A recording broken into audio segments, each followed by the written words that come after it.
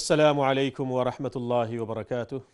الحمد لله رب العالمين والعاقبة للمتقين والصلاة والسلام على نبينا محمد وعلى آله وأصحابه أجمعين ومن تبعهم ودعا بدعوتهم وسلك مسلكهم بإحسان إلى يوم الدين. أما بعد أعوذ بالله من الشيطان الرجيم. بسم الله الرحمن الرحيم.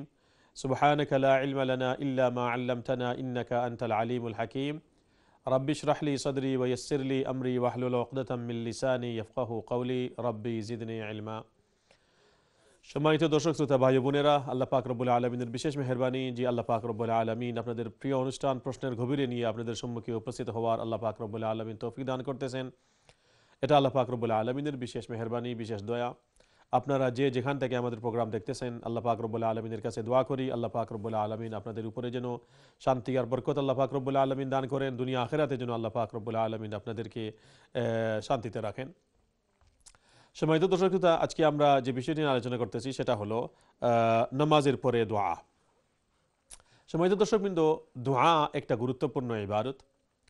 দোয়া সম্পর্কে বিশ্বনবী মোহাম্মদুর রসুল্লাহ সাল্লাহ আলহি ওসাল্লাম হাদিসের মধ্যে বলেন আর দোয়া ও মুখল ইবাদা যে দোয়া হলো ইবাদতের মগজ ইবাদতের সারাংশ সাহাবাই কেরাম রসুল করিম সাল্লাহ আলহি ওসাল্লামকে জিজ্ঞাসা করলেন যে হে আল্লাহর নবী আমরা আল্লাহ পাক রব্বুল্লাহ আলমিনের কাছে দোয়া করব জানতে চাই আল্লাহ পাক রব্বুল্লাহ আলমিন আমাদের কতটুকু কাছে তখন আল্লাহ পাক রব্বুল্লাহ আলমিন সুরায় বাকারার মধ্যে আয়াত নাজির করলেন আউদুবিল্লাহমিন শেতান রাজিম وإذا سألك عبادي عني فإني قريب أجيب دعوة الداعي إذا دعان فليستجيبوا لي وليؤمنوا بي لعلهم يرشدون যে হে মোহাম্মদ সাল্লাহ আলহি ওসাল্লাম যখন আমার বন্দা আপনাকে আমার ব্যাপারে জিজ্ঞাসা করে আপনি তাদেরকে বলে দিন ইন্নি কারিব আমি তাদের অনেক নিকটে কোরআনে করিমের অন্য আয়তে বলা হচ্ছে আল্লাহ কতটুকু নিকটে নাহনু আকরাবু ইলাইহি মিন হাবলিল ওয়ারিদ যে গলার যে শাহরগ আছে, সেই শাহরগ থেকেও আল্লাহ পাক রব্বুল আলমিন বন্দার অনেক কাছে এরপর আল্লাহ বলেন, উজিবু দাওয়াত যখন কোনো বান্দা আমার কাছে দোয়া করে, তখন আমি তার দোয়া কবুল করি। আপনি তাদেরকে বলে দেন তারা যেন আমার কাছে দোয়া করে, আমার উপরে বিশ্বাস স্থাপন রাখে। যাতে করে তারা সহি রাস্তা পায়। এই আয়াত দ্বারা সম্মানিত দর্শকবৃন্দ, বোঝা গেল যে আল্লাহ পাক রব্বুল আলমিন আমাদের দোয়া কবুল করেন। আল্লাহ পাক রব্বুল আলমিন আমাদের দোয়া অবশ্যই কবুল করেন। আর আল্লাহ পাক রব্বুল আলমিন আমাদের কথাবার্তা, আমাদের দোয়া আল্লাহ পাক রব্বুল আলমিন শোনেন। এই জন্য সম্মানিত দর্শকবৃন্দ, আমরা সবসময় চেষ্টা করব যেন আমরা আল্লাহ পাক রব্বুল আলমিনের কাছে দোয়া করি। এজন্য বিশ্বনবী মোহাম্মদুর রসুল্লাহ সাল্লাহ আলহি ওসাল্লাম হাদিসে তার ব্যাপারে আসছে। সঈদ আয়সা রাদি আল্লাহ তালা বলেন, কানা রসুল্লাহ সাল্লাহ আলহি ওসাল্লাম ইয়াদকুরুল্লাহ আলাকুল্লি আহিয়ানি যে রসুল করিম সাল্লাহ আলহি ওসাল্লাম সর্বাবস্থায় আল্লাহ পাকরবুল্লাহ আলমিনকে স্মরণ করতেন, দোয়া করতেন। কিন্তু সম্মানিত দর্শকবৃন্দ, কিছু কিছু ক্ষেত্র আছে এমন যে ওই সময় দোয়া করলে আল্লাহ পাকরবুল্লাহ আলমিন দোয়াকে কবুল করেন, আল্লাহ পাকরবুল্লাহ আলমিন দোয়াকে পছন্দ করেন, আল্লাহ পাকরবুল্লাহ আলমিন বন্দার যে দোয়াগুলো থাকে আল্লাহ পাকরবুল্লাহ আলমিন তা শুনেন আর তা কবুল করেন। সাহাবাই কেরাম রসুল করিম সাল্লাহ আলহি ওসাল্লামকে জিজ্ঞাসা করলেন যে, আইয়ুদ দোয়াই আসমা? যে হে আল্লাহ রসুল সাল্লাহ আলহি ওসাল্লাম কোন দোয়া সবচেয়ে বেশি আল্লাহ পাক রব্বুল্লাহ আলমিন কবুল করেন, মঞ্জুর করেন? প্রতি উত্তরে রসুল করিম সাল্লাহ আলহি ওসাল্লাম বলেন জৌফুল্লাইল আখির ওবাদ সালাতিল মকতুবাত। যে রাতের শেষ অংশে যেটাকে আমরা তাহাজুদের ওক্ত বলে থাকি, সেই সময় যখন বন্দা আল্লাহ পাক রব্বুল্লাহ আলমিনের কাছে দোয়া করে, আল্লাহ পাক রব্বুল্লাহ আলমিন তার দোয়া কবুল করেন। আর প্রত্যেক ফরজ নামাজের পরে যখন বন্দা আল্লাহ পাক রব্বুল্লাহ আলমিনের কাছে দোয়া করে, তখন আল্লাহ পাক রব্বুল্লাহ আলমী সে দোয়াগুলো কবুল করেন।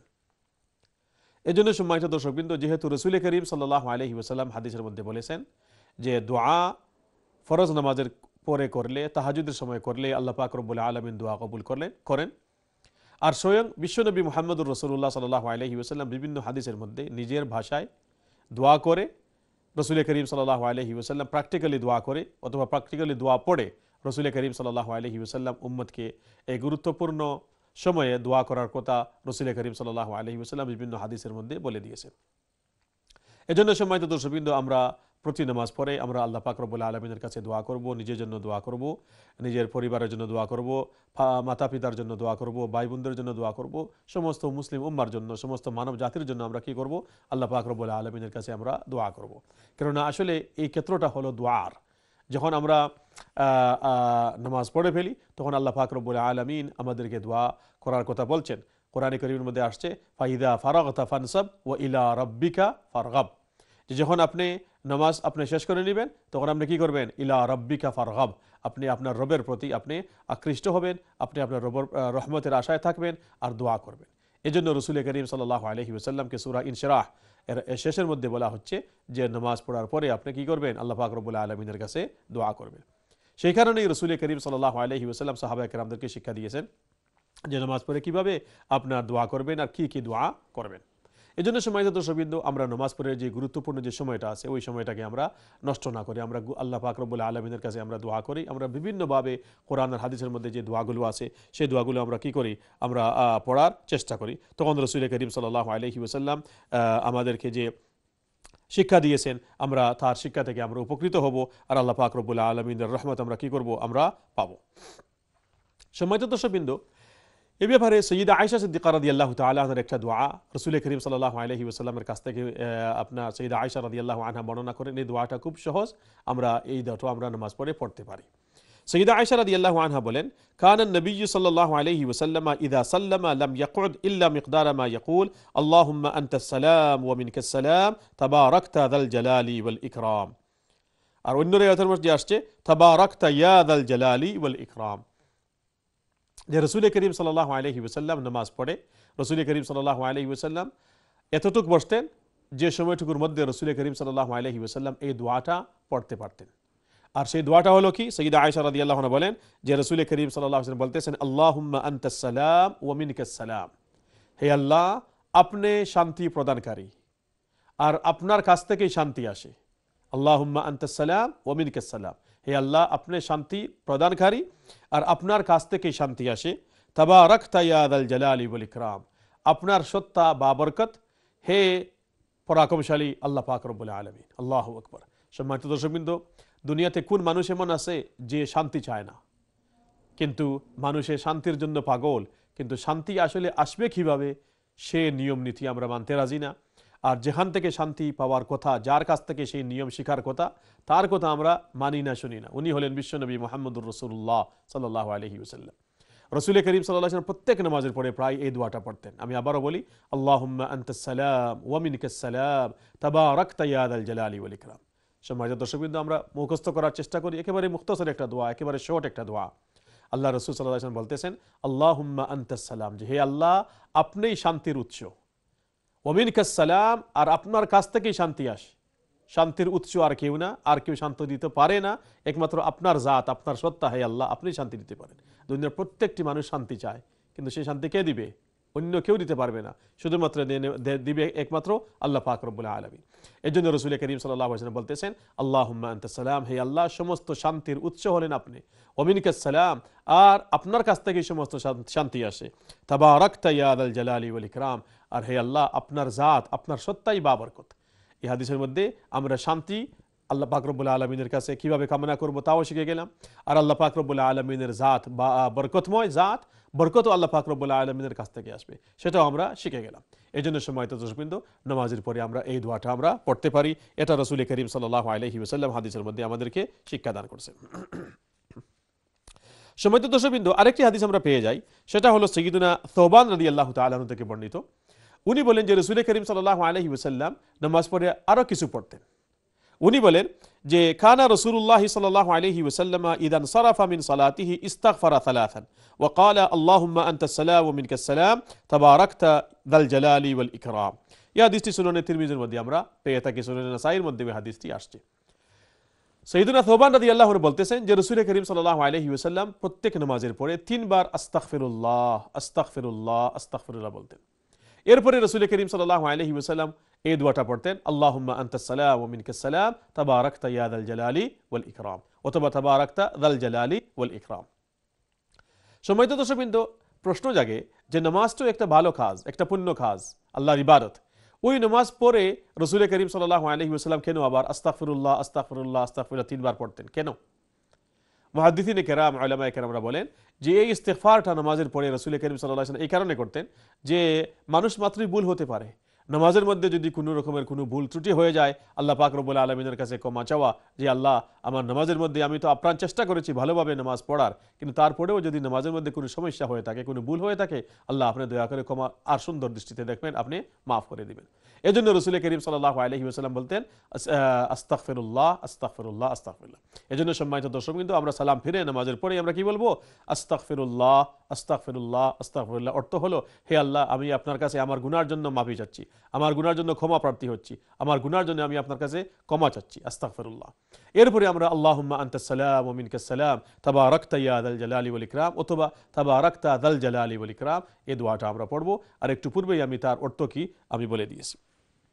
সময় তো দর্শক তাহলে আমরা নামাজ পড়ে আমরা কি দোয়া পড়ব? আমরা দুটা দোয়া পেয়ে গেলাম। একটা হলো যে আমরা নামাজ পড়ে আমরা আস্তাকফিরুল্লাহ আস্তাকফিরুল্লাহ পড়ব। এরপরে আমরা কি করব? আমরা আল্লাহ আংতাসালাম ওমিনকাসালাম তাবা রক্ত ইয়াদ আল জালালি ওয়াল ইকরাম, এই দোয়াটা আমরা পড়ব। সম্মানিত দর্শকবৃন্দ, এরপরে রসুল করিম সাল্লাহ আলহি ওসাল্লাম নামাজের পরে যে দোয়া করতেন ওই দোয়ার মধ্যে অবশ্যই হাত উঠানো জায়জ আছে। আল্লাহ রসুল সাল্লাহ আলহি ওসাল্লাম হাত উঠিয়ে দোয়া করতেন। আর মুতাওয়াতির রেওয়ায়তের মধ্যে, মুতাওয়াতির আপনার হাদিসের মধ্যে পাওয়া যায় যে রসুল করিম সাল্লাহ আলহি ওসাল্লাম হাত উঠিয়ে দোয়া করতেন। এই জন্য আমরা কি করব? আমরা হাত উঠিয়ে আমরা দোয়া করব। যেমন, সৈয়দুনা আবু হুরাই রদি আল্লাহ তালন একটি হাদিসের মধ্যে বর্ণনা করেন। যে হাদিসটি ইমামি বুহারি রহমতুল্লাহ আলহি জুজ উ রফ আলিয়াদাইনের মধ্যে বর্ণনা করেছেন যে রসুল করিম সাল্লাহ আলহি ওসাল্লাম ইস্তাকবালা রসুল্লাহ সাল্লাহ আলহি ওসাল্লাম আল কিবলাতা ও তাহাইয়া ও রাফা ইয়াদাইহি ও কালা আল্লাহ মাহদি দৌসান ও আতিবিহিম যে রসুল করিম সাল্লাহ আলহি ওসাল্লাম যখন দোয়া একদিন দোয়া করলেন, আর রসুল করিম সাল্লাহ আলহি ওসাল্লাম ইস্তাকবালা আল কিবলাতা রসুল করিম সাল্লাহ আলহি ওসাল্লাম কিবলামুখ হয়ে বসলেন। কিবলার দিকে মুখ দিয়ে রসুল করিম সাল্লাহ আলিয়াল্লাম বসলেন ও তাহাইয়া আর দোয়ার জন্য রসুল করিম সাল্লাহ আলিয়াল্লাম প্রস্তুতি নিলেন ওরাফা আইয়া আইয়াদাইহি এরপরে রসুল করিম সাল্লাহ আলহি ওসাল্লাম কী করলেন? দোয়ার জন্য হাত উঠালেন। এই হাদিস দ্বারা বোঝা গেল যে যখন আপনি দোয়া করবেন, আপনি আল্লাহর দিকে মতবজ্জ হয়ে আপনি দোয়া করবেন, আপনি কিবলার মুখ হয়ে আপনি দোয়া করবেন। আর যদি আপনি কিবলা মুখ নাও হন, অন্যদিকে আপনি করেন, তাও সমস্যা নাই। কিন্তু রসুল করিম সাল্লাহ সাল্লাম একদিন হাদিসের মধ্যে আসছে সেই জন্য আবু হুরেরা বলতেছেন যে আল্লাহ রসুল সাল্লাহ সাল্লাম কিবলার দিকে মুখ করে দোয়া করলেন, দোয়ার জন্য তৈয়ারি করলেন, প্রস্তুতি নিলেন। এরপরে রসুল করিম সাল্লাহ আলহি ওসাল্লাম কী করলেন? দোয়ার জন্য হাত উঠালেন। এর জন্য ওলামা আমরা বলেন যে, নামাজের পরে যদি কোনো মানুষ দোয়া করে আর হাতও উঠায়, তাহলে তার হাত উঠানিও জায়জ আছে। কোনো সমস্যা নেই, সেটা বিরাট হবে না। এরপরে সম্মানিত দর্শক বিন্দু আরেকটি দোয়া আমরা পেয়ে থাকি যে রসুল করিম সাল্লাহ আলহি ওসাল্লাম নামাজ পড়ে পড়তেন সেটা হলো সৈয়দুনা আলী রদি আল্লাহ তালন থেকে বর্ণিত জামিয়া তিরমিদির হাদিস খানা রসুল্লাহ সাল্লাহ আলী সাল্লাম ইদা সাল্লাম মিন সাল্লাহ قال اللهم اغفر لي ما قدمت وما أخرت وما أسررت وما أعلنت وما أنت أعلم به مني أنت المقدم وأنت المؤخر الله أكبر এই হাদিসটি খুব প্রিয় একটা হাদিস রসুল করিম সাল্লাহ আলী সাল্লাম খুব প্রিয় একটা দোয়া বলতেন যে যখনই রসুল করিম সাল্লাহ আলহি ইসলাম নামাজ থেকে ফারিক হতেন, নামাজ শেষ করতেন, তখন বলতেন আল্লাহ মকফিরলি হে আল্লাহ, আমার গুনাকে আপনি ক্ষমা করে দেন। মা কদ্দাম তু ওমা আখার তু যেগুলো আমি আগে করেছি অথবা পিছনে করেছি। ওমা আসরার তু ওমা আলান তু আর যেগুলো আমি দেখিয়ে দেখিয়ে করেছি অথবা আমি লুকিয়ে লুকিয়ে করেছি। ওমা আন্তা আলামু বিহি মিন্নি, আর যে গুনার ব্যাপারে আপনি আমার চাইতেও বেশি জানেন। আন্তাল মুকাদ্দিম ওয়া আন্তাল মুআখির, কেননা হে আল্লাহ, আপনি মুকাদ্দিম আর আপনি মুআখির। আপনি আগের খবরও রাখেন, পরের খবরও রাখেন। এই দোয়াটা রসুল করিম সাল্লাহ আলহি ওসাল্লাম নামাজ পড়ে পড়তেন। সম্মানিত দর্শকবৃন্দ এই দোয়াটার মধ্যেও আমরা অনেক আমরা গুরুত্বপূর্ণ তথ্য পেয়ে গেলাম যে রসুল করিম সাল্লাহ আলহি ওসাল্লাম দোয়া পড়তেন। এই জন্য আমরা এই দোয়াটাও আমরা পড়ার চেষ্টা করি। আরেকটি হাদিস সম্মানিত দর্শকবৃন্দ সৈয়দুনা বরা ইবনে আজিব রদি আল্লাহ বলেন, যেটা মুসলিম শরীফের মধ্যে পাওয়া যায় রসুল করিম সাল্লাহ আলহি ওসাল্লাম খান ইয়াকুল বাদ সালাহ, রব্বি খিনি আদাবাকা ইয়ৌমা তাবাআত ইবাদাকা। যে রসুল করিম সাল্লাহ বলতেন, হে আল্লাহ আপনি কিনি আদাবাকা আপনার আজাব থেকে আমাকে বাঁচান। ইয়ৌম তবাআত ইবাদাকা, যেদিন আপনি আপনার সমস্ত বান্দাদেরকে আপনি কি করবেন? আপনি আখেরাতে তাদেরকে কবর থেকে আপনি উত্তোলন করবেন। সেদিন আখেরাতের দিন, আপনার কেয়ামতের দিন আপনি আমাকে আপনার আজাব থেকে, হে আল্লাহ, আপনি আমাকে বাঁচান। সময়ত দর্শকবৃন্দ, কত প্রিয় একটা দোয়া রসুল করিম বলতেছেন, রব্বি কিনি আদাবাক ইয়ৌম তবাআত ইবাদাক। আমি আবারও বলি, মুখস্থ হয়ে যাবে, রব্বি কিনি আদাবাক ইয়াউমা তাবআথু ইবাদাক। হে আল্লাহ, আপনি আমাকে আপনার আজাব থেকে বাঁচান, আপনার আজাব থেকে মুক্তি দান করুন। ইয়াউমা তাবআথু ইবাদাক। যেদিন আপনি আপনার বান্দাদেরকে কি করবেন? আপনি কিয়ামতের দিন কবর থেকে তাদেরকে বাহির করবেন, ময়দানে মাহশরে আপনি তাদেরকে উপস্থিত করবেন। তো এই দোয়াটাও রসুল করিম সাল্লাল্লাহু আলাইহি ওয়াসাল্লাম করতেন, যা দ্বারা বোঝা যায় যে রসুল করিম সাল্লাহ আলহি ওসাল্লাম আপনার দোয়া পড়তেন। সময় তো দর্শকবৃন্দ মাগরিবের নামাজের পরে আর ফজরের নামাজের পরে রসুল করিম সাল্লাহ আলহি ওসাল্লাম বিশেষভাবে এই দোয়াটা সাতবার পড়তেন। আমরাও পড়ার চেষ্টা করি, অনেক মুখতাসর দোয়া, অনেক শর্ট দোয়া। আল্লাহ পাক রব্বুল আলমিন সেই দোয়াটা আমাদেরকে সহজ করে দেন আর মুখস্থ করার তৌফিক দান করেন। রসুল করিম সাল্লাহ আলহি ওসাল্লামের সাহাবি সঈদুনা মুসলিম ইবনুল হারিস আত্তমিমি রাদি আল্লাহানু বলেন যে রসুল করিম সাল্লাহ আলহি ওসাল্লাম মাগরিবের নামাজের পড়ে পড়তেন, আল্লাহুম্মা আজিরনি মিনান্নার আল্লাহুম্মা আজিরনি মিনান্নার আর ফজরের পরে ও রসুল করিম সাল্লাহ আলহি ওসাল্লাম এই দোয়াটা পড়তেন। আর এই দোয়াটা আবু দাউদ তিরমিদি সহ হাদিসের বিভিন্ন কিতাবের মধ্যে পাওয়া যায়। সংক্ষেপে দোয়া, আল্লাহুম্মা আজিরনি মিনান্নার হে আল্লাহ, আপনি আমাকে জাহান্নাম থেকে মুক্তি দান করেন। হে আল্লাহ, আপনি আমাকে জাহান্নাম থেকে মুক্তি দান করেন। মাগরিবের পরে রসুল করিম সাল্লাহ আলহি ওসাল্লাম সাতবার পড়তেন। আর ফজরের পরে ও রসুল করিম সাল্লাহ আলহি ওসাল্লাম এই দোয়াটা সাতবার পড়তেন। তাহলে সম্মানিত দর্শকবৃন্দ, নামাজের পরে আমরা মাগরিব আর ফজরের পরে আমরা এই দোয়াটা আমরা পড়তে পারি। যেহেতু রসুল করিম সাল্লাহ আলহি ওসাল্লাম এই দোয়াটা পড়তেন। হাদিসের মধ্যে আপনার আবু দাউদ শরীফ আর তিরমিদি শরীফের হাদিসের মধ্যে এই দোয়াটা পাওয়া যায়। এই জন্য আমরা এই দোয়াটাও ফজর অথবা মাগরিবের নামাজের পরে আমরা কি করি? আল্লাহ পাক রব্বুল্লাহ আলমিনের কাছে আমরা চাই। সময় তো দর্শকবৃন্দ এরপরে সঈদুনা রসুল্লাহ সাল্লাহ আলিয়াল্লাম আরেকটি দোয়া পড়তেন, যে দোয়া সম্পর্কে রসুল করিম সাল্লাহ আলিয়াল্লাম সঈদুনা মোয়াদিবনে জবল রাদি আল্লাহ তালা আনহুকে আদেশ দিছিলেন। সেই দোয়াটা আপনার আবু দাউদ সহ, নাসাই সহ হাদিসের বিভিন্ন কিতাবের মধ্যে পাওয়া যায়। রসুল করিম সাল্লাহ আলিয়াল্লাম সঈদুনা মোয়াদিবনে জবল রাদি আল্লাহকে বলতেছেন যে মহাদ তোমাকে আমি ওসিয়ত করি, আদেশ করি যে প্রত্যেক নামাজের পরে তুমি এই দোয়াটা ছাড়বে না। আর সে দোয়াটা হলো আল্লাহ আইননি আলা দিক্রিকা ও শুক্রিকা ও হোসনে ইবারতিক। সুহান আল্লাহ কত প্রিয় দোয়া। আল্লাহ আইননি আলা দিক্রিকা ও শুক্রিকা ও হোসনে ইবারতিক। যে, হে আল্লাহ, আইননি আলা দিক্রিকা। আপনি আমাকে সাহায্য করুন আপনার জিকির করার জন্য।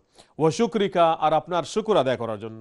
ও হোসনে ইবাদতিক, আর আপনার ইবাদতকে সুন্দরভাবে করার জন্য। সুবহান আল্লাহ কত প্রিয় একটা দোয়া, কত সুন্দর একটা দোয়া। আল্লাহ রসুল বলতেছেন, আল্লাহুম্মা আইনি আলা দিক্রিকা ও শুক্রিকা ও হোসনে ইবাদতিক। আর রসুল করিম সাল্লাহ সাল্লাম একজন প্রিয় সাহাবিকে উনি শিক্ষা দিতেছেন যে, তুমি প্রত্যেক নামাজের পরে এই দোয়াটা পড়বে, কখনো ছাড়বে না। আল্লাহুম্মা আইনি আলা দিক্রিকা ও শুক্রিকা ও হোসনে ইবাদতিক। হে আল্লাহ, আপনি আমাকে সাহায্য করেন। আপনার জিকির করার জন্য, আপনার শুকুর করার জন্য, আর আপনার ইবাদত বন্দেগী করার জন্য। সুবহান আল্লাহ কত প্রিয় একটা দোয়া রসুল করিম সাল্লাহ আলহি ওসাল্লাম পড়তেন। এরপরে সময় দর্শকবৃন্দ, আরেকটি দোয়া আমরা পেয়ে থাকি, সেটা হলো মুসরদি আহমদের মধ্যে পাওয়া যায়। রসুল করিম সাল্লাহ আলিয়াল্লাম প্রায় ফজরের নামাজের পরে এই দোয়াটা পড়তেন, আল্লাহুম্মা ইন্নি আস আলুকা ইলমান নাফিআ ওয়া রিজকান তৈয়িবান ওয়া আমালান মুতাকাব্বালা।